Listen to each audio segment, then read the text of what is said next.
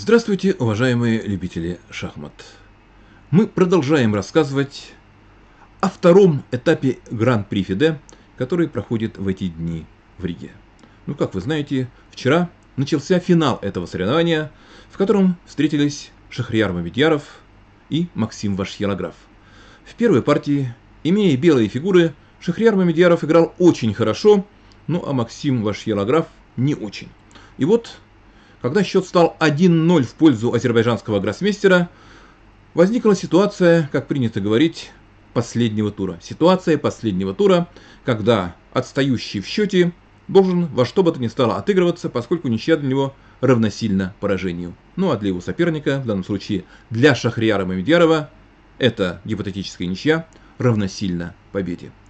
Эта ситуация достаточно хорошо описана Николаем Крогиусом в его знаменитой книги «Психология шахмат».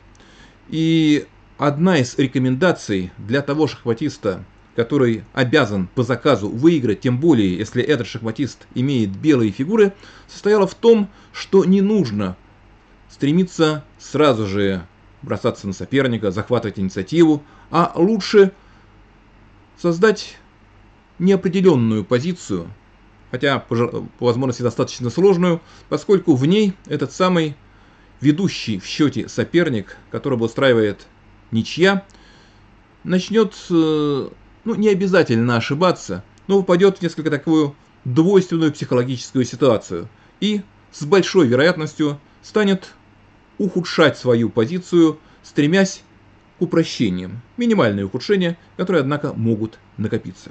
И вот, как мне кажется, ваш Ерограф, имея белые фигуры, последовал этому совету Николая Владимировича и сделал ход. Немножко я вот поправлю вот так вот, да. И сделал первый ход Е2, Е4, который, вообще говоря, более форсированный, эм, свидетельствующий о готовности как раз к осложнениям, какому-то форсажу в большей степени, чем ходы d4 и аналогичные им.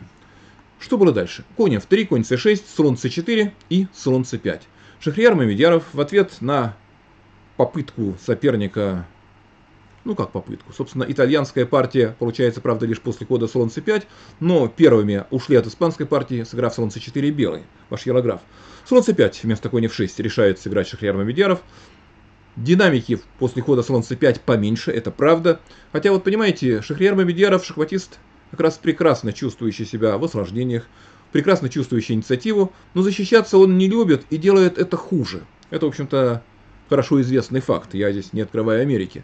И, наверное, и с этим обстоятельством считался ваш Ерограф, хотя, конечно, после такого тяжелого поражения, какое потерпел французский гроссмейстер накануне, в понедельник, полностью восстановиться, переключиться на спокойную, хладнокровную игру не так уж легко. Тем не менее, смотрите, c3, Конь f6, ну, белые могли бы, конечно, сыграть d4, но эти варианты очень хорошо изучены, очень давно. Главное разветвление здесь вот такое вот, слон d2, взятие, взятие, d5, взятие, взятие. На ферзь b3 черный обязан сыграть конь e7. И начинается вязкая игра, в которых минимальное преимущество белых, минимальное давление, легко достаточно парировать. То есть считается, что у белых здесь ничего нет.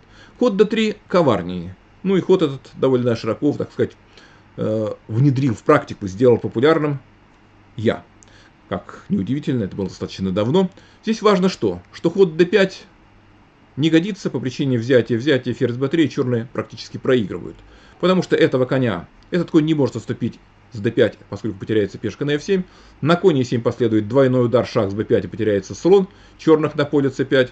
При ходе конь опять то же самое, шах и потеряется слон на поле c5. А в случае хода слон e6 можно взять на b7. И никакой контр-игры у черных нет, поскольку опять же шах с поля b5 губит постоянно черных вариантах типа там конь c7 и тогда ферзь b5 шах. То есть э, лучше сыграть конь e7, и здесь просто тяжелейшая, практически безнадежная черных позиция. Поэтому d6. Собственно, ничего нового я вам не открыл, не сказал. d6, после рокировки h7, h6, ладья e1. Обращаю ваше внимание, что белые по-прежнему не торопятся с продвижением d3, d4. И с этой точки зрения Ход h7, h6 как раз очень уместен для черных, потому что на, на d4 можно отступить слоном спокойно на b6, и белые ничего не извлекут из своего давления в центре. Ну, здесь h3 опять снова допускается d4, было сыграно в партии конь d2. Ход d4 здесь имеет некоторый смысл, в отличие от предыдущих моментов, скажем так, потому что черные сделали ход опять необязательный. Наверное, черные отступили бы на а7, это вариант из партии, и центр белых подвисает. То есть, хотя черные не угрожают ходом слон d4, но белые должны что-то делать, а одна из угроз идей черных состоит во взятии на d4 и ходе d5. Вот у меня какое-то странное ощущение, что все-таки а7 а5, ход, сделанный Шхрианом Мемедьяровым, не очень удачен.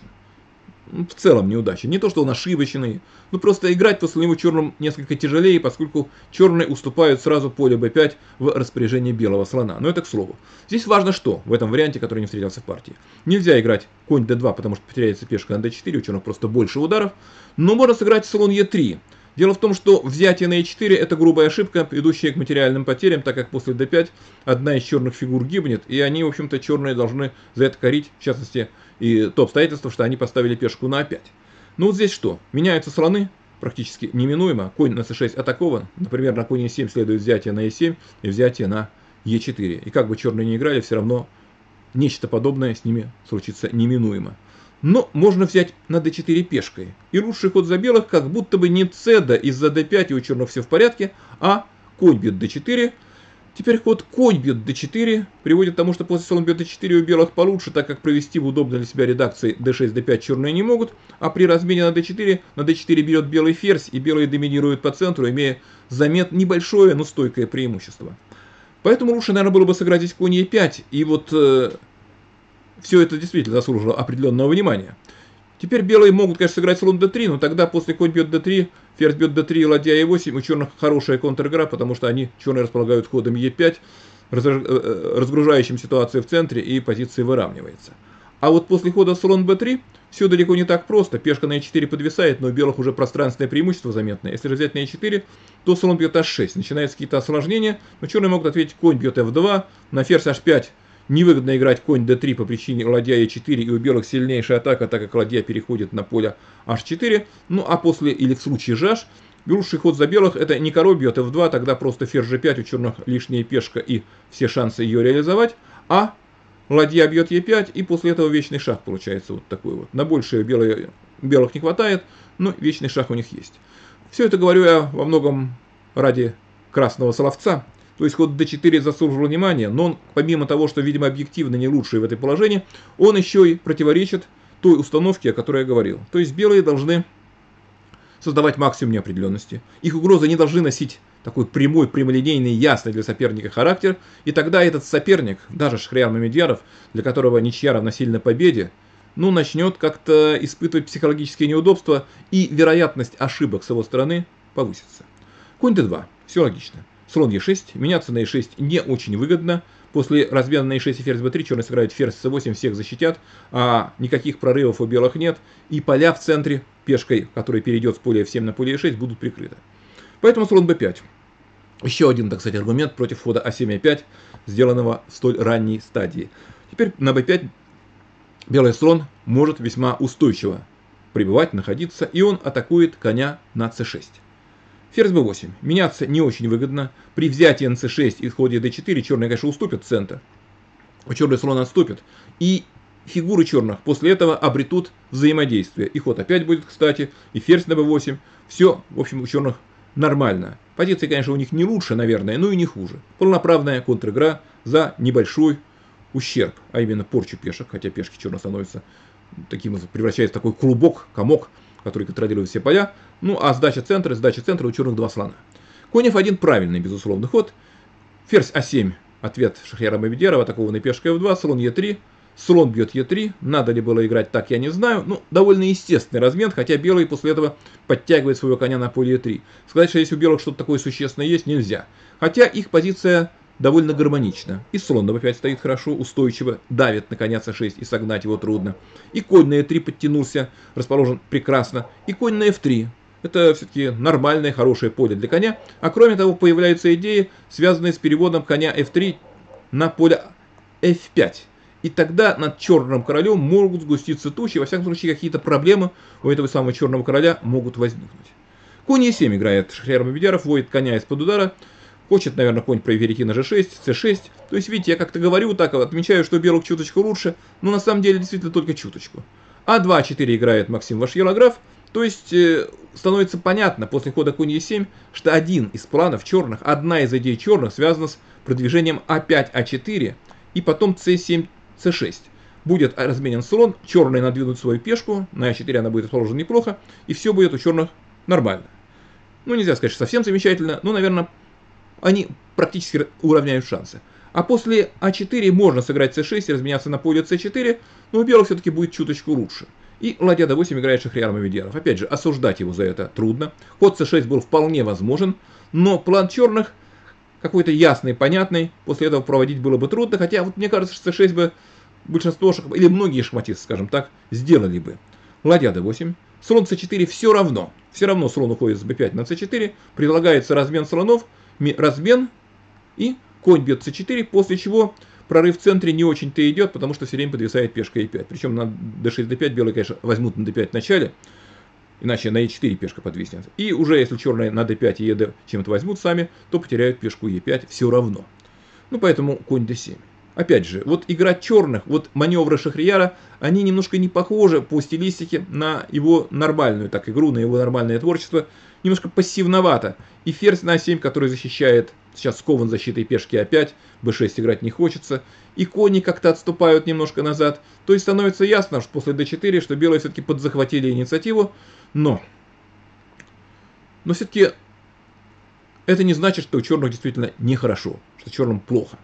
Ладья e8 можно было сыграть, этот ход не решал все проблемы.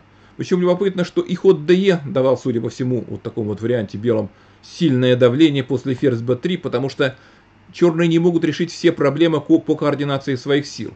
Ну, например, сыграть ферзь c5, то после ферзь b5 черным просто нехорошо. Придется, наверное, разменяться на b5, чтобы не потерять материал, но материал все равно теряется, и на e5 висит, и на a5 висит, и конь c6 нельзя, пешка белых на b5 расположена теперь великолепно, например, ход b6, тогда конь бьет e5 и так далее, с лишней пешкой у белых все шансы ее, эту пешку реализовать. Если сыграть здесь конь c6, то все равно ферзь b5, и черные стоят очень пассивно. Ферзь на a7 не может выйти вот э, через ферзевый фланг никуда. На d2 вторжение ладьи невозможно, конь на c4 у белых великолепен, ферзь на b5 расположен здорово, давление на a5 и e5 есть, и следующий ход белых ладья d1. Опять же, сказать, что позиция черных совсем плохая нельзя, но играть очень неприятно. То есть придется как там действовать? b6 играть нельзя, вообще непонятно, как перегруппироваться. Ну, можно, правда, и сразу ферзь b3 в этом случае сыграть, и на ед взять ед, и на конь c6 сыграть ладья d1, просто вот нагнетать давление. Тоже преимущество белых довольно заметное в случае хода ладья e8. Шахьер поэтому сделал ход ферзь а6, атакуя коня, стоящего на поле c4. Конь ушел на поле e3. В данном случае ход ферзь b3 менее актуален, менее эффективен. Но вот конь Е3 и уже белые кони посматривают и на королевский фланг соперника. В частности, здесь заслужил внимание ход конь H4 с переводом коня на F5. Это, конечно, не конец игре. И более того, даже не преимущество такое заметное белых, но это неприятное для черных давление.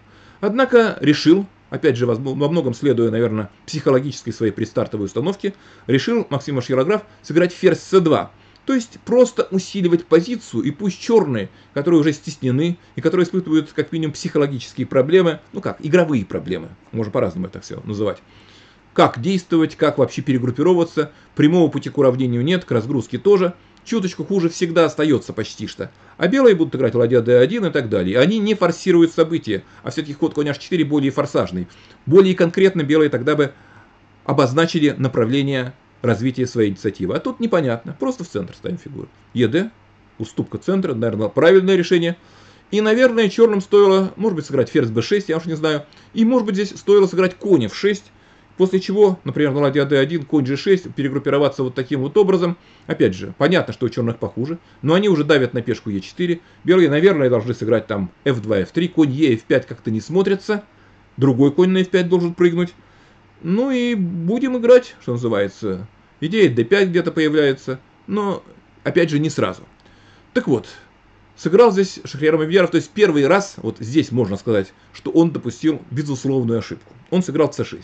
Он ослабил свою пешку до d6, белые сразу же вторглись на поле f5, допускать на d6 белого коня нельзя, можно сыграть конь c5 было. Этот ход, наверное, был получше, хотя, понимаете, тоже счастья полного нет, Ну, после, например, простого ладья d1. Конь бьет f5, скажем. Белые берут на f5, черные могут прорваться с помощью, упростить позицию, немножко освободиться с помощью хода d6, d5, но полного счастья ход не приносит. Потому что после взятия, взятия на e1, ладья бьет e1, нельзя брать ладьей, это понятно, будет шаг дан по восьмому, да вообще конь e7 шаг даже, проще еще. Вот. А в случае хода ЕД все равно конь e7 шаг, нельзя теперь идти на поле f8 из-за вторжения на h7, угрожает мат, черные эту угрозу парируют с помощью хода конь f5, тогда конь e6, тогда конь f5, возобновляется угроза мата с поля h8, и у белых просто решающая атака. Ферзь h8 страшная угроза, но если король e8, там и конь g7, можно и ферзь g8, как угодно. То есть, в ответ на шах с e7, на f8 идти нельзя, нужно идти на h8, и белые тогда играют не конь бьет d5. Вот я смотрел некоторое время этот ход. Теперь, разумеется, нельзя брать на d5 из-за мата по восьмому ряду. Поле h7 контролируется в белом ферзем с c2. Но можно сыграть ферзь d3, и у черных отличная контр-игра и никаких проблем. То есть, чтобы не потерять коня, приходится играть конь e3, потому что после ферзь бьет d3, взятие d3 висит, и конь ладья, и конь теряется, или ладья, ну конь, конечно, теряется, поскольку белые ладью не отдадут.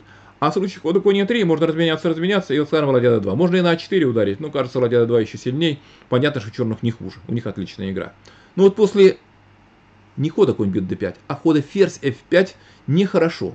Просто нехорошо у черных, противно у черных. Но и здесь вообще можно было бы, вот пойдя на этот вариант, защищаться, если согласиться на очередную уступку, на порчу пешек. Ферзь f6, похоже, чуть ли не единственный ход, поскольку висит пешка на f7, и защищать ее трудно.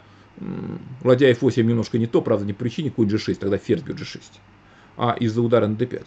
Ну вот после ферзь f6, размена размена, белый конь не столь хорошо теперь расположен, на 4 пешка у белых висит, и это существенно. Я уж не знаю, надо рассматривать ход ладья а1, может вообще правильное решение, тогда d4 с контр-игрой против всех белых пешек сразу у черных нормально. А после конь f5 можно взять на а4. Конечно, начинаются какие-то варианты, но сказать, что здесь черные наверняка проигрывают, нельзя. Потому что у них сильная проходная по линия, и хотя белые там ударят на f7, вечный шаг они, конечно, легко могут дать, но пешка это грозная сила, и, наверное, черные здесь не проигрывают. Иными словами, ход конь c5 заслуживал внимания и давал Шахрияру определенную контр-игру. Но вот он, опять же, я высказываю свое предположение, в силу психологических обстоятельств, ничья равносильно победе, а рисковать не хочется, сделал пассивный ход конь f6, атакующий пешку на поле e4 и ладья d1, после чего, в общем, оказалось, что не так легко играть черным. Может быть, ему стоило взять на f5. Может быть, после этого сыграть d5. Ну, вот здесь e5, такой вот вариант, конь e4, f3, ферзь a7, это шах белому королю, король уходит, черный конь уходит на g5, белые играют, например, c4. Ход не строго обязательный, но просто белые должны уже изменить направление своей игры, и они давят на центр, они хотят скрыть позицию, ферзь на 7 стоит пассивно, и, наверное, у белых были бы определенные шансы на выигрыш, у них лучше. Не смертельно для черных, но неприятно для черных лучше. Лучше у белых, безусловно. nd6 конь может торнуться при желании в любой момент. Так вот, но вместо хода конь f5, конь бьет f5, черные сыграли конь c8, так поступил Шахриар Мамедьяров, и после простого f2, f3 черные очень стеснены. Стоило пассивно держаться или ладья e6, или ферзь b6. Прорваться белым все еще очень непросто, хотя у них у белых явное преимущество. А вот ход d5, вскрывающий игру, возможно, просто связан с каким-то, или пытающийся скрыть игру, связан с каким-то просчетом. Дело в том, что белые играют ферзь f2. Я подозреваю, что этот перевод, этот ход – который стал возможен. Давайте отступим на пару ходов назад. Вот белые сыграли f3, вроде бы единственная идея хода f3 в защите пешки e4, но оказывается, что этим ходом белые подготовили еще маршрут для перевода ферзя на g3 с решающими угрозами черному королю, и бить на e4 нельзя, потому что ферзь ферзь g3 все разваливается просто вот на королевском фланге. Можно сыграть там конь h5, но этого коня легко атаковать, что-то и на 6 теряется, и на d8 можно в любой момент взять. Нехорошо, нехорошо у черных после этого. И пришлось Шахрияру играть ладья e6, После ферзь g3 атакована пешка. g6 играть, мягко говоря, не хочется из-за взятия на h6. Поэтому конь e8, уход в пассив с одновременным отдачей центральной пешки. Ну, в общем, это уже начало конца или конец начала, я уж не знаю. Потому что бить на e1 можно. Ну, во-первых, белые могут взять ладьей, так как подвисает конь на e8. Во-вторых, в каких-то других вариантах можно взять ферзем даже. А кони белых на d5 и f5 расположены очень страшно для черных. Ну, по сути дела, позиция у белых выигрышная, хотя, конечно, Ошибиться можно всегда, и шансы поэтому защищающей стороны всегда есть. Король f8. Король уходит из потенциальных идей конь Е7 шах. Это была угроза уже, кстати. Конь Д, Е7 это угроза, с последующим ладья бьет Д8. И вторая идея, которая постоянно витает в воздухе, хотя не очень актуальна, сейчас конь бьет А6, поскольку по шестому ряду две тяжелые фигуры защищают пешку А6. Ну, конь Е7. Угроза, и поэтому сыграно здесь король F8. Ферзь H4, атакована ладья. Очень неприятные обстоятельства, потому что непонятно, что делать, как консолидироваться, как перегруппироваться, куда поставить эту ладью. Ну, ладья идет на d7, выбора большого у черных нет. Конь e3, просто предлагая размен ладей и сохраняя все выгоды своего положения, а черные прижаты. Конь d6. Ну, сказать, что здесь лучше, что не лучше, трудно, потому что размен на d1 приводил просто к плохой позиции, а ход конь d6, наверное, лишь ускоряет развязку, потому что конь d4 атакована ладья на e6. Белые перегруппировываются оптимальным для себя способом, а черные лишь завязаны. Лишь еще больше завязали себя. Ладья e5, конь идет на поле g4. Теперь в случае размена там неприятности какие-то возникают по линии. Ну и после хода ладья d5 эти неприятности еще более серьезные. То есть, э, опять же, трудно комментировать здесь, трудно говорить, что лучше было так или эдак. И так, и так, плохо. Вопрос в каких-то чисто символических практических шансах. Ну, после хода ладья d5 и конь e5 просто Шахрияр Мамедьяров признал себя побежденным, потому что атакована ладья. Если сыграть ладья c7, то последует ферзь d8, хотя, честно говоря, это не единственная возможность, конь g6 выигрывает столь же легко шах черному королю. Если король отступил бы, то конь e7 шах, а здесь можно сыграть конь e6 шах, ну и забрать на d5. Лишнее качество плюс решающая атака который сметает все на своем пути буквально сразу. Но ладья ферзь d8 ничуть не слабее, но может быть даже еще сильнее. И в случае ладья e7, хода, который также не был сделан, поскольку черные признали себя побежденными, последовало бы конь g6 шах, затем ферзь бьет e7, и, как принято говорить, и так далее. Ну вот, так закончилась эта ответная вторая партия финала.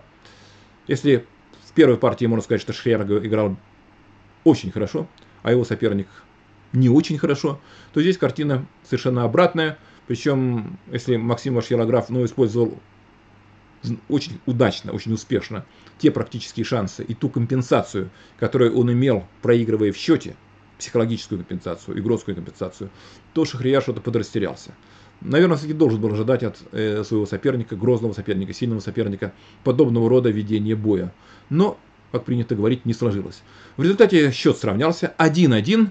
И судьба второго этапа Гран-при Фиде Ришевского супертурнира теперь будет зависеть, имя победителя будет выявлено, определено в ходе тайбрейка, который начнется также в 15.00 по московскому времени. Вначале будут сыграны две партии по 25 минут. Если победитель будет не выявлен, тогда две партии по 10 минут с добавлением 10 секунд после каждого хода. Потом пойдет Плиц 5 плюс 3, но если понадобится, даже и Армагеддон. Что случится, конечно, гадать не возьмусь. Сейчас уже психологическая инициатива, безусловно, перешла на сторону Максима Вашхелаграва, тем более, что он игрок номер один по Блицу, не по быстрым шахматам. Быстрый шахмат он играет также очень здорово, но по Блицу он номер один, опережая самого Магнуса Карсона. Тем не менее, это не означает, что Максим Вашьелаграф без пяти минут победитель. Я думаю, что в быстрых шахматах у Ширяма Верова все шансы дать бой и, может быть, даже и победить Максима Вашья Лаграва. На этом на сегодня все. Я, как всегда, призываю вас ставить лайки, подписываться, кто не подписался на наш канал, и, разумеется, обыгрывать своих соперников, когда вы играете с ними в шахматы. Ну а пока, до свидания.